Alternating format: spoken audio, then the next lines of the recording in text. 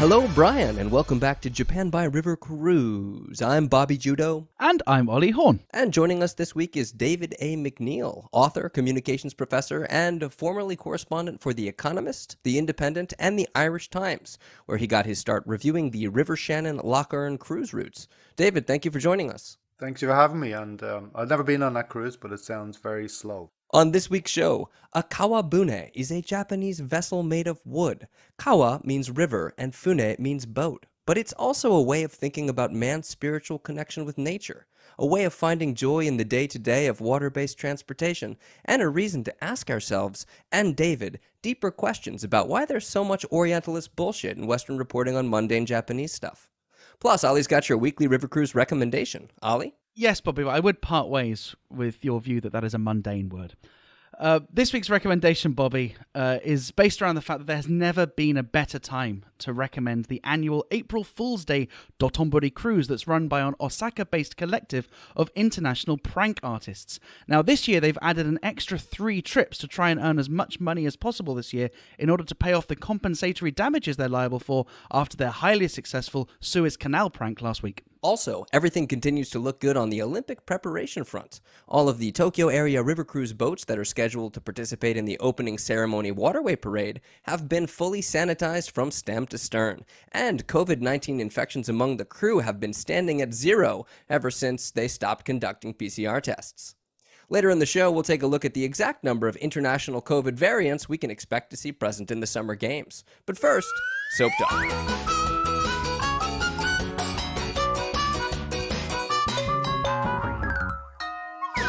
Hey, Brian, you got anything for Soap Talk this week? No. It has occurred to me that not every week we explain to our guest what soap talk means, and it's and there might now be listeners Yes. that don't know what soap talk mean, and it's always embarrassing when I have to explain. Oh yeah, Bobby bullied me because I got it wrong once, and now it's become a thing.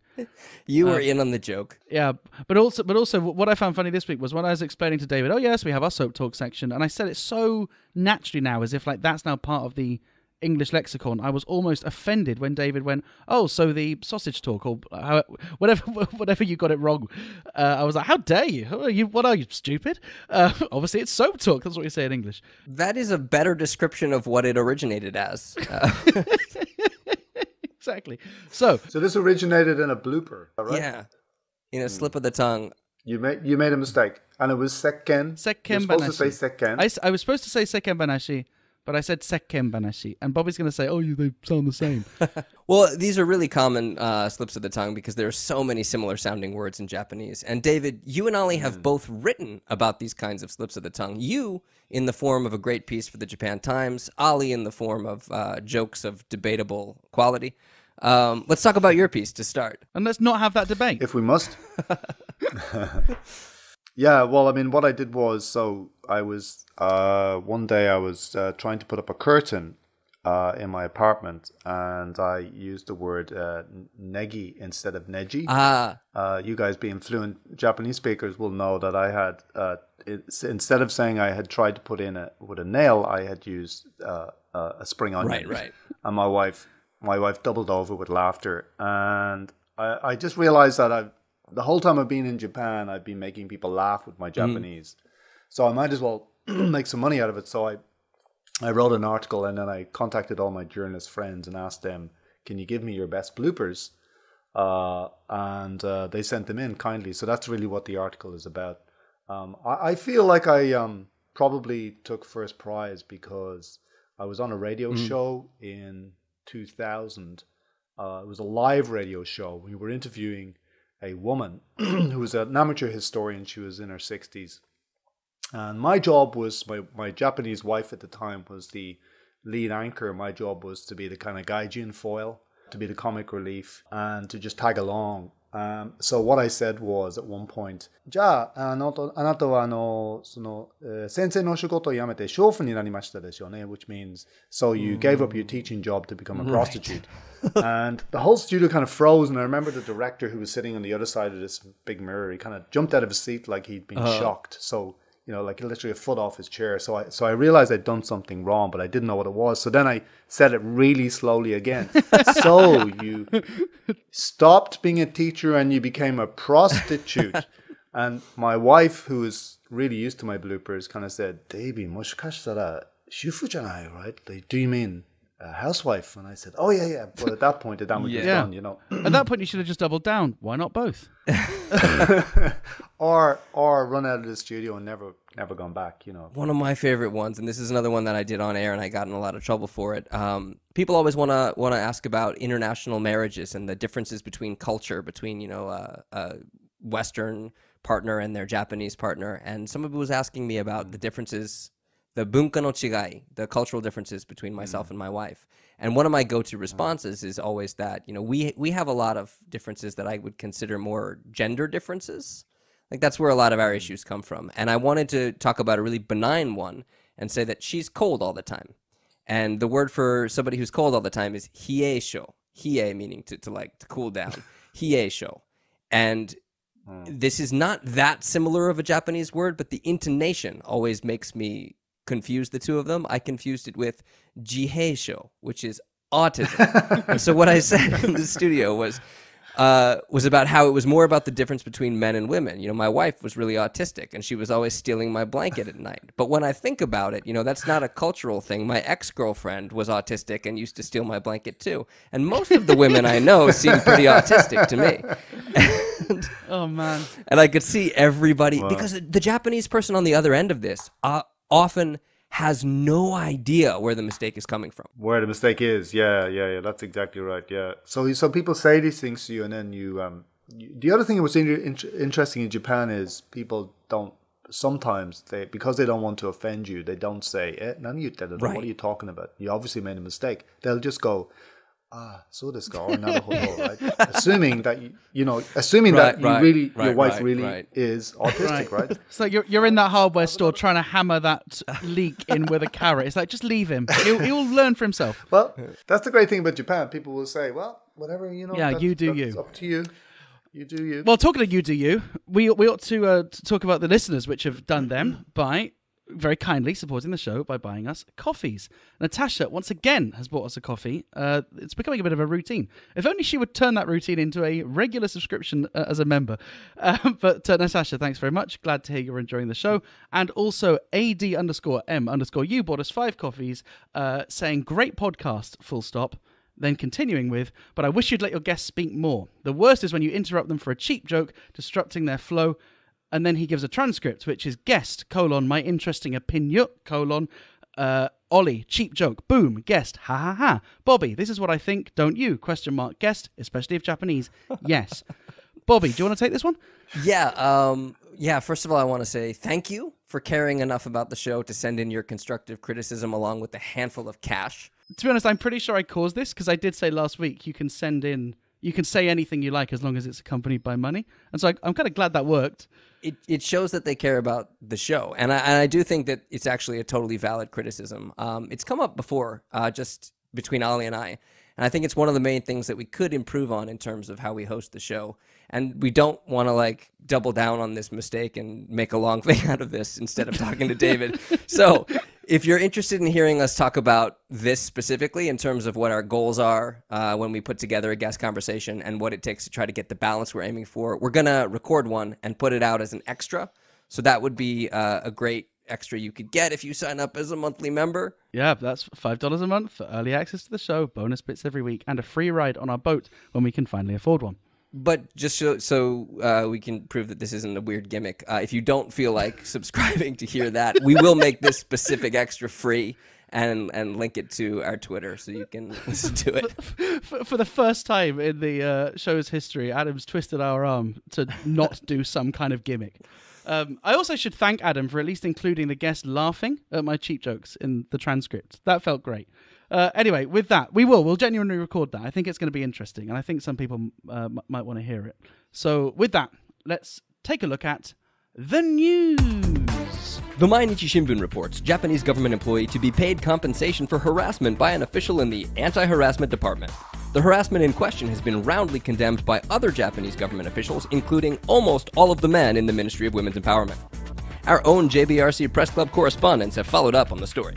Yes, at Kamayama 100 reports that there seems to have been some understandable confusion on the part of the official because he had just recently been transferred from the harassment department. And correspondent at PJOMC will be going even further in depth with the release of their book, Harasumento The Ancient Japanese Art of Showing Who's Boss. If you'd like to join the JBRC Press Club, follow us at, at JBRC Pod for next week's assignment. David, you recently wrote an article for the Foreign Correspondents Club of Japan's paper, explaining why you think there's Yep. so much bullshit written about Japan in the Western media. I'm summarizing, I don't think you used that word. And uh, it's funny that just last week, the New York Times magazine managed to exoticize and romanticize and orient- orientalize a pot. And uh, this was like widely derided on Twitter, but it seems, it just seems that derision on Twitter is not enough to make it stop. So, my my question to you is you've covered the history of Western media getting Japan wrong. Is it ever going to stop? Well, not only have I covered the history of the Western media getting it wrong, but I've been part of the problem uh, in the sense That's that the I first worked step. for. Yes, so the first, yeah, it's a twelve-step program, and the first pro- the first step is recognizing that you have a problem, which I have. Uh, so I worked for a British newspaper called The Independent for sixteen years, and a staple of my uh, job, if you like, was a late evening call. Actually, sometimes as late as we are now, 10 o'clock at night, but usually after the conference in London, uh, an editor would call and he'd say, David, we've seen um, this new geisha movie uh, coming out, and we're wondering if you could interview a geisha. Uh, um, and could you do it now or do it tonight? And I would say, well, do you know how hard it is to get a geisha interview? And they would say, well, just put it together from what you can find on the wires. And those would be quite regular uh, requests, you know, for this kind of hardy perennials. We call them hardy perennials in in uh, journalistic speak. So, geisha, uh, sumo, sexless marriages, um, uh, anything to do really with quirky or weird sex. Um, uh, Yakuza, of course, was another one. So, and whaling was a regular one in the British media. So these are th- these are the things that you said you call them hardy perennials. I think now they might be more akin to like searchable keywords. Yeah, I mean, if you so they're clickbait. I mean, and eventually they became clickbait in the sense that, um, you know, what would happen is if you wrote a story about a sexist marriage or Japan's barbaric whaling practices or whatever it was, then you could guarantee that that article would go into the top ten uh, of the most read articles for that particular day, which is why editors would call you up. So, you know, just just to take their position for a minute, the editor's position that is, uh, they they were uh, you know putting together a newspaper with a very small budget, and in, in the Independent's case, it was it was always teetering on the verge of bankruptcy as well. Uh, basically, since it was set up, certainly since I, t- I came to the paper, which is two thousand and one. You've established that it's not your fault. Yeah. I don't I don't think it was my fault, but uh, probably I paid a part.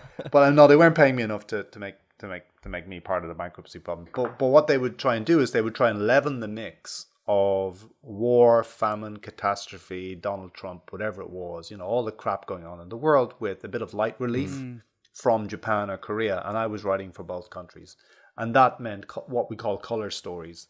Um, so you, you were always sort of asked to pull these things out of the out of the bag, you know, and and sometimes it was really really uh, you know you kind of you balked right because the stories were so stupid. Like I remember before I came to Japan, there were so many stories in the British press about how cruel Japanese people were to animals, um, and know, how they mistreated them. And then when I came here, uh, one of the first things I was asked to do was a 2,000 word feature on how Japanese people are love animals, and not only do they love them, but they're using animals to replace their desire to have children. So they're stopping having children; they're having dogs and cats. And I was asked to put that together in in a sort of very short space of time, you know, three or four hours. So you can't even get any interviews. You can't put any context. You can't put any nuance. You just end up saying Japanese people love their pets uh, because they're not having any babies. You know. That, that that seems like one of these like bingo cards where you've you've managed to check off like three or four. You've got like a little hiki, hikikomori element. You've got a cute Japan element. Kawaii, yeah. And and you know, it's interesting because one of the most probably the most trolled I've ever been in my life was when I did an article on AKB48, which of course is a uh, kawaii pop group. And and I couldn't I just couldn't resist taking the piss, you know, out of out of the whole sort of um, kawaii phenomenon and you know, going to this concert and I was not the oldest person there and 95% of the people who were there were were men, right? So the whole it just seems saturated in kind of pedophilia or pe- pedophilia light to me at least, and that's the way I wrote it up. But the trolling I got was was unbelievable. People saying you you know you're dissing Japanese culture, you you you don't understand it, you don't respect it.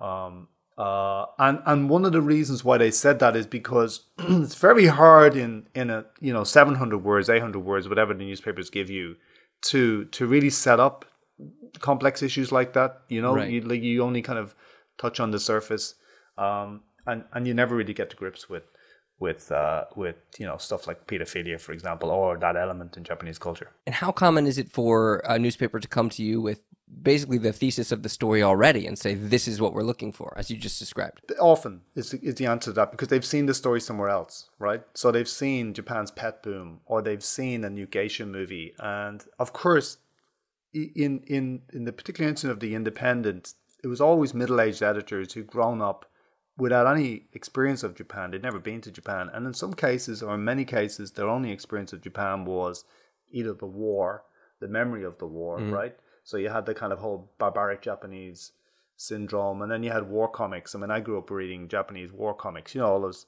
the, the sturdy British Tommy mowing down, uh, you know, uh, lines and lines of Japanese soldiers who would only ever say "Aye!" That was the only thing they ever said, right? So you had that kind of generation, and then you had the sort of um, the economic juggernaut, which was the dominant narrative in the 80s and 90s. So they carried all that framework in their heads when they commissioned these stories from you. Something that, that really upset me when I, I worked briefly for local Japanese television. And one time I was sent on an assignment where I would randomly speak to people on the street pretending I was a tourist and then seeing how they would react and, you know, seeing the lev- their level of English. And I remember the first time, the very first thing we shot, I spoke to someone and they responded in fluent English. They were super pleased to meet me. You know, they were, they, they really bought into it. They wanted to become my friend. And uh, I had a great interaction with them. And then as soon as they left and they signed the release, the director basically said Zannen, wh- which is like, what a shame we can't use that. Can't And, and that was like my first uh, real world experience of uh, being a hammer in search of a nail, or rather, like having having the outcome and not being a journalist. And it seems that what you're saying is that it, it- the stories aren't guided by foreign journalists picking up information and constructing a story, but rather there's this idea of what Japan needs to be in order for our readers to accept it and to engage with it. And you just need to find enough pieces that, that fit that mold. So you're not really being asked to lie, you're just being asked to kind of put your blinkers on. Well, I mean, I think it's both. You know, I think you have all those elements. So uh, let's put let's put it this way: if a correspondent is powerful enough, if they have enough uh, heft, and if they're a staffer, then they can argue with a line that the editor has put to them, right? And they will say, "Well, look, okay." Yeah, it's true that there are robots in Japan, but I'm afraid, you know, that, that article that you saw in the Daily Mail about robots serving people uh, booze or having sex with customers in Osaka, that's completely wrong. That's just false. And I, but I will write you a good article on robots, right? Uh, you know, which might not be as sexy as that. It might be all about how robots now run all of Japan's factories, which is true, right? So, so I, I think it's both. I think, uh, you know, I think that the uh, editors come to the journalist, the correspondent on the ground, with a framework for understanding Japan. In some cases, the journalists themselves will arrive with a, a set sort of, uh, you know, a mindset of how to cover the country. Um, but then when it clashes with reality, if they're good journalists, they'll change their mindset, right? And they'll argue with the editor. One of the issues I took um, up in my piece is the fact that because journalism is collapsing or old school journalism is collapsing, you know, that advertiser supported Right. model, newspapers and so on, that the industry now is full of uh, people who are stringers, people who are uh, not on contracts and who are just trying to survive. And in the worst case, not in all cases by any means, but in the worst case cases, they those people will write whatever needs to be written. Right? They'll just write what the editor asks because it it's paid fifty cents a word or whatever it is. Well, let's talk about some of the instances where uh, the reporter fails or the Western media outlet fails. Um, one of the ones Yeah. that sticks out to me uh, is a story I heard about from a woman I rented to pretend to be my wife. Uh, it's the family rental business story. This was picked up all over uh, Western media. This company in Japan that rented out uh, a family. This was the New Yorker, I believe, right? That's right. So what makes this story so? Just to be clear about the context, it wasn't just the New Yorker. Uh, NHK World uh, also did a story on that. Uh, various other um, Western and Japanese outlets. Conan. O'Brien did in a piece was on it when he was here. Conan O'Brien did a piece, yeah, which I actually use to teach about exoticizing Japan, and it was also the subject of a movie, uh, a documentary movie. So, but the reason why people have focused on the New Yorker is because the New Yorker is a prestigious, one of the kind of um, you know Rolls Royce of uh, American publications, and they spend a lot of time and effort fact checking. And in fact, I know the people who wrote this article. I know the people who were involved in researching it, and there was a lot of you know time and effort put into sort of getting to the bottom of this phenomenon, which is the rent a family industry, right? So the idea is if you you go into a wedding or if you need a friend or a, a wife to stand in for you, that you can rent one, right? Um, and it turns out that the the whole story was kind of undermined because the people who were the sources of the story, the so-called, you know, the actors who were renting, were actually um, related, uh, and they were playing a part not only to the people who that were hiring them, but they were playing a part to the journalist who was writing the story, right? So essentially, the journalist had the wool pulled over over her mm. eyes. And so you're saying the journalist was was duped basically. This wasn't an example of the journalist looking for a story, but rather, you know, is there anything the journalist could have done? I guess is my question. Could even the the best journalist have, have seen through this? Exactly. It's not a question of of the journalist deliberately trying to pull the wool over everybody's eyes. It's a question, in this case, particular instance, it's the journalist was fooled by her sources, which is very hard, you know, to. So even the, the Japanese fixer in this case, I know, she was suspicious of the story uh, because it just seemed so weird. But she went ahead with it, right? But I think the bigger issue this was a piece made by uh, a journalist uh, in uh, a different magazine, The Atlantic, in fact. Um, he said, well, in, in- the issue really is why do editors um, and you know fact checkers, even at the world's most prestigious uh, publications, drop the guard when it comes to Japan? That's the issue. right? Yeah. Like, like why is it that you know when you hear a story, like you go, really? You know, people are renting families. You know, doesn't that sound weird? So, Elementary so school children are licking accept- eyeballs. yeah, you. So that's another story, as you know, that ran in the British newspapers. That there was this craze for Japanese, uh, you know, school children licking each other's eyeballs, uh, and the story that went all around the world, complete and utter nonsense. So why didn't the editor of the Telegraph, in this case, the first publication, the British Telegraph, the first publication that ran that story, why didn't they say, "Come on, that's that's got to be nonsense"? They just put the story in. And is is the answer that if this were the Irish doing the eyeball licking thing, they'd go, "Okay, we've re- we've really got to investigate this," but somehow because it's Don't you? I don't know, you tell me. Um, they do all kinds of weird things in Ireland.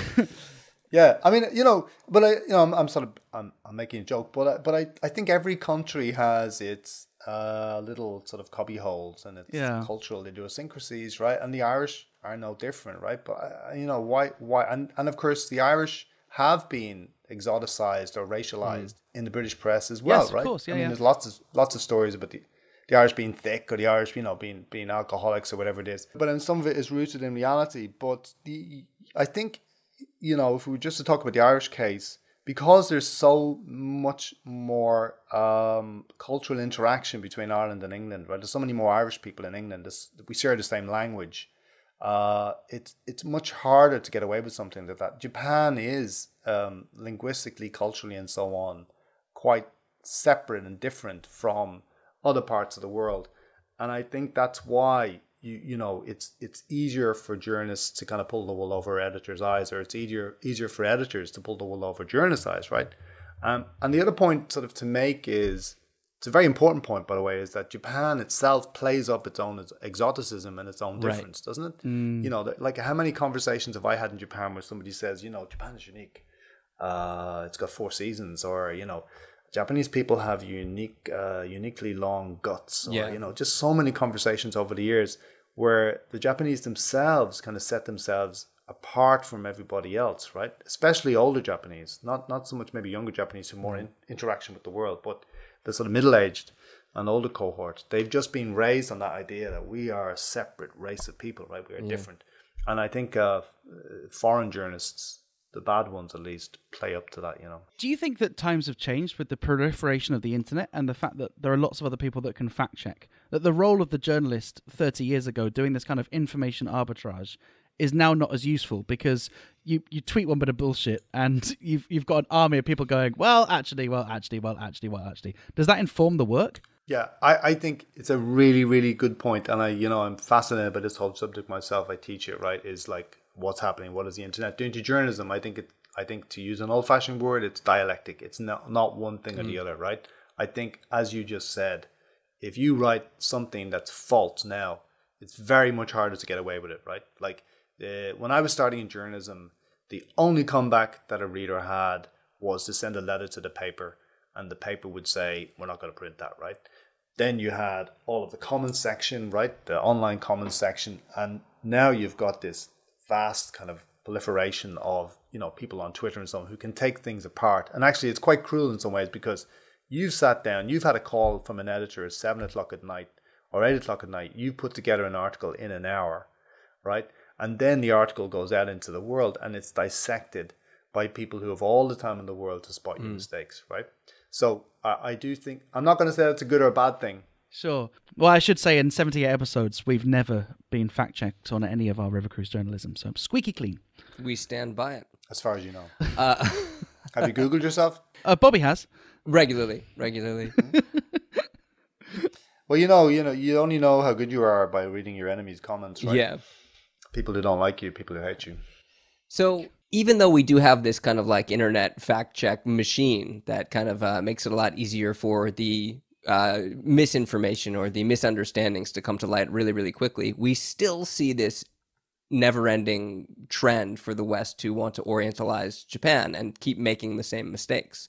Do you think that this says something about the West and what the West wants out of Japan? Well, yeah, I think it says something about the way the West perceives Japan. Um, there is um, a sort of a collective memory of Japan, which certainly for my generation uh, is uncomfortably close to um, stereotypes about mm. the war, about you know the barbaric Japanese. And I think that it, whaling, for example, to take one case, is a sort of a uh, a stand-in for you know that barbarity, right? right? It was a way of writing about mm. Japanese exoticism and so on by not writing about it, right? You could talk about those barbaric Japanese killing whales. Yeah. Um, so I do think it is partly about that. Um, but I do think also uh, there's other factors involved, right? And one of the factors that you might want to, you know, just think a little bit about is journalism itself as a machine for creating artifacts, mm. you know, for creating things that people read, right? Like that's one of the things that was really quite shocking to me because I came to Japan to write about, you know, things that matter, right? But editors they want to sell the paper for tomorrow, and the way that they sell the paper for tomorrow is getting stories that are going to get clicks or reads, yeah. you know and and that's that's a big part of it is just the whole kind of um the fact that the media and commercial especially newspapers are commercial enterprises. And there's a feedback loop there as well because people are more inclined to click on things and read things that confirm the narrative or the image that they already have in their head. And it's not just the west that does this to japan. You can also see the way japan thinks about other countries based on what kind of media they bring in uh, about other countries. For example I have never been yeah. on a single news broadcast in Japan that hasn't shown footage of a car crash in China. right. I mean, you know, I did. Well, there are a lot of car crashes in yeah. China. I used to live there, and it was kind of shocking. But, but I, yeah, I mean, just you know, the bigger issue is the way that the media frames uh, other parts of the world, frames it in every. And, and as we know, the Japanese media is not immune from framing the other other parts of the world in their own particular way or or just ignoring parts of the world and focusing on other parts you mm. know like so over the years i've been invited on you know shows in japan and there's also been a a a narrative that had already been decided before i'd ever arrived and which i sometimes disagreed with but i had zero power to influence you know mm-hmm. like I, I mean one example i would use is the the Princess Diana was mar- was murdered by MI5 uh, narrative. I mean, there's been several programs over the years, and I was interviewed on a TV program about that, and I I spent you know the whole program in my really bad Japanese just saying you know imbo mm-hmm. you know right this is a conspiracy theory that it doesn't make any sense, and the only line from what I my entire interview that was used was uh, sonani kantan de wanai. It's not so simple, right? So they just went ahead with their with their you know I was the victim of the exact same kind of treatment. I was once on a show with a Japanese journalist who claimed that Japan invented the hand job, and they totally edited out my. No, it did not.